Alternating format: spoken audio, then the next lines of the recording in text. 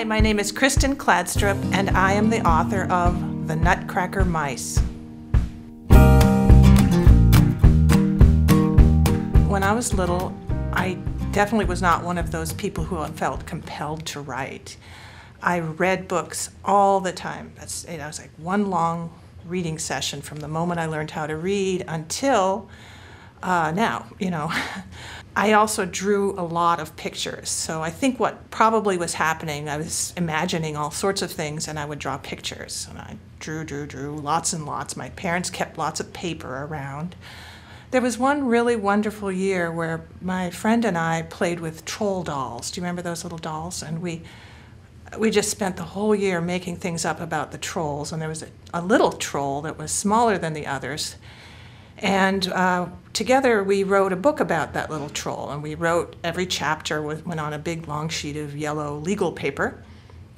And at the end of the chapter, we would draw a picture of whatever she was doing. And it even had kind of a plot. In every chapter, she would get into some terrible mess that she had to find her way out of. And I think we probably wrote three or four chapters before we stopped. But I, I do have a strong memory of that.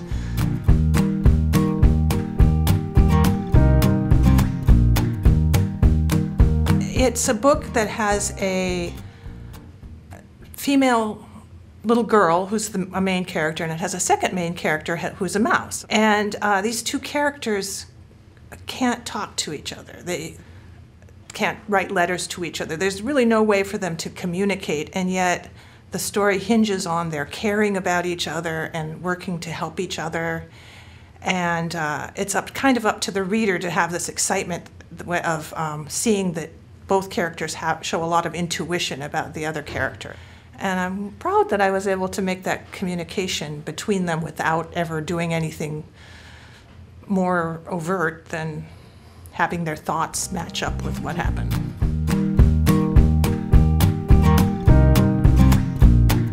I have to say, more than any other book I've written, uh, this book is written for the young Kristin.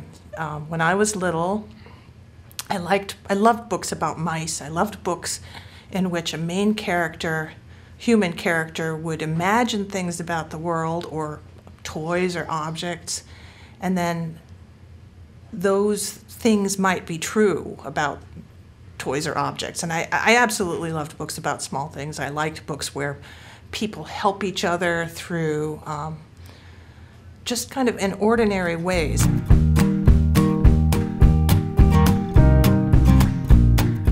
Something that comes to mind is that when I was younger, I took lots and lots of piano lessons from the time I was five, and, and then I went to college and I continued to take piano lessons. But suddenly, I didn't have as much time to uh, practice. In fact, I remember going to one lesson where I hadn't practiced the piece I'd been assigned at all.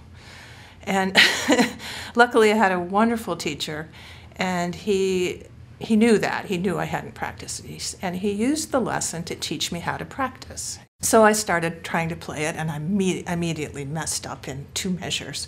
And then I went back to, to replay them properly. And he said, No, stop. Here's what I think you should do when you start a new piece of music play it at a tempo at which you can play through without mistakes. And that way you get a feeling for the whole piece of music. And so I try to have that same attitude. I don't know I succeed much, but when I'm trying to write a story or a novel, I try to have that try to play through the whole thing before you revise. And I, my impulse is to want to revise because I think I, I write a pretty bad first draft. But it's much better uh, just to try to get as far as possible, even to the end. I don't think I've quite done that yet, but I'm working on it.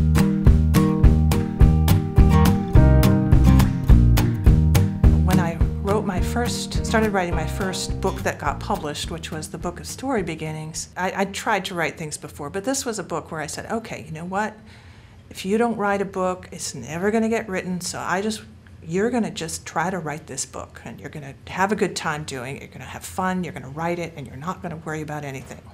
So I wrote and wrote. I wrote lots of chapters and I was having a good time. And then someone I knew very slightly said, Oh, we're starting a critique group at work. Would you like? And we'll meet after work and critique each other's writing. And I immediately said, Oh, okay. Well, then I thought more about it and I started to get kind of panicky because I'd never, I mean, I, I people had read what I'd written before, but I'd never, something I, I really cared about writing this book. And so I called a friend who was a writer and I said, please, please, I'm going to mail you some chapters. Would you please read them? And, and I just need you to tell me, uh, like, they're not ridiculous and that they're okay. And, and I told her about the critique group, and she said, Sure, I'll read them. Well, she did, and she liked them. She called me, she said, No, I really like it. I think you're a good writer. And then she was really nice. She said, I think you're a better writer than I am, which is felt honest. I know it was true or not, but she just was so nice about it. And then that stuck with me and gave me courage to go to the critique group.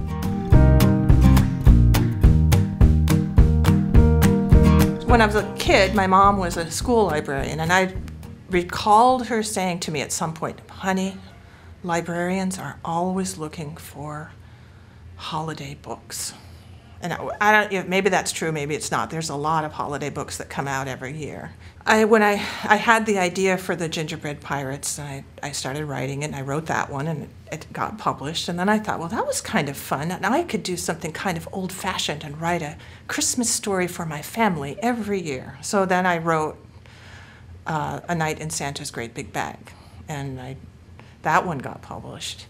And by that time, I'd probably started working on The Nutcracker Mice, which turned out to be a novel rather than a picture book, and that took a long time to write those are the books that got published too. You know, holiday books do get published.